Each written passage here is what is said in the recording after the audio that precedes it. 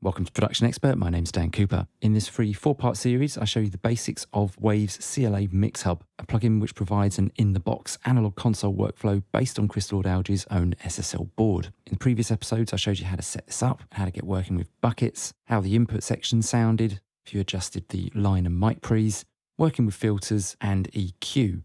In this final episode, I'm going to show you the powerful dynamics in Waves CLA MixHub, and I'm going to continue working in the bucket view. Of course, you can always work in channel view. Personally, I prefer this view. It means I can work a lot quicker. Now, I'm going to stay over here on the drum bucket, which has overheads kick, snare, tom, and drum bus. I've got compressors at the top here. Default, these are the onboard compressors, but we can switch this to CLA's Bluey 1176 compressor. Beneath that, we've got gates, expander, and a parallel blend control there as well. Let's start with the tom tom in this. Just put it in isolation there. You can hear the drum head resonating there whilst the rest of the kit is playing. And just heard the tom there. But I'd like to gate this resonance out and it's very simple to do using the range and threshold control. Let's just dial a bit of this in. Let's have a listen.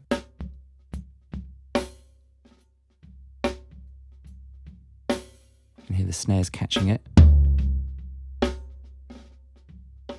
Let's put the threshold up a bit higher.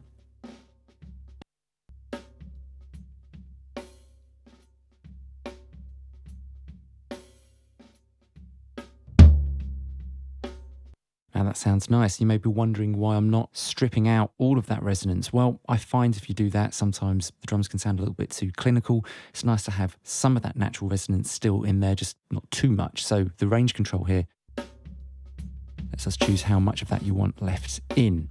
Now let's move across to the other parts of the kit. And I'm going to start with the snare drum and some compression.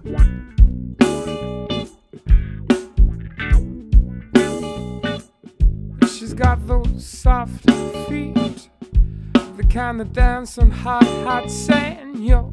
The earth is just rolling. Hear that already taking effects. Between her toes. See the meters down here? No the smooth, the smooth ankles. It's nice, but we can always ah, switch over to the 1176 style compressor. Baby, let me pass through. I wanna come over. Hey. It's nice.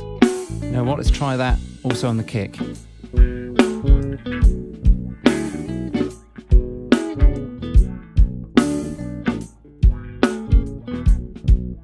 Of course, we can expand the view as well if we wish. Well parallel picture I have to paint clearly. Pale that sounds nice. Now let's move over to the drum bus. It doesn't matter. She is still a Just apply a little bit of glue. Oh, needs to be mad. So I said, yeah, now the 1176 is a little bit too much for bus compression.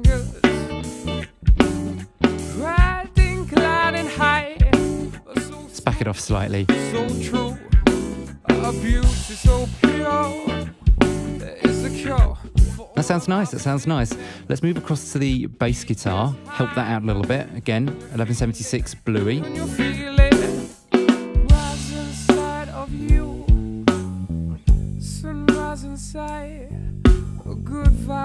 Sounds nice, let's go back around again.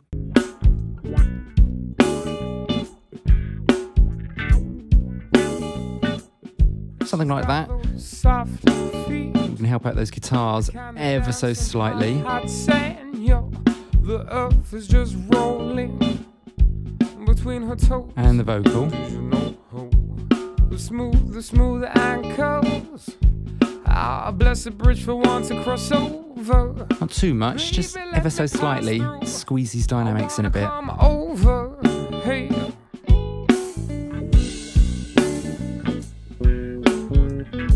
Sounding nice. I think we've got to balance it a little bit over here on the output. That kick feels a bit much.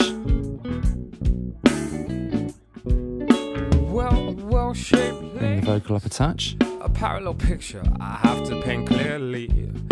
Pale, long, short, or tan. Yeah, that sounds great to me. Nice and simple. It's a nice safe mix, but it's all there and it will be heard.